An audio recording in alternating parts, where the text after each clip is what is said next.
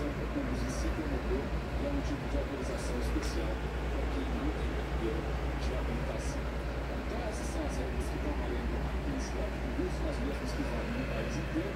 As organizações de autofábrica, o governo está tentando legislar na regra de trânsito. Ontem, depois que eles mantiveram o veto, o vereador Dr. Gilberto Solidariedade já protocolou para um novo projeto do Rogério Silva, que vai proibir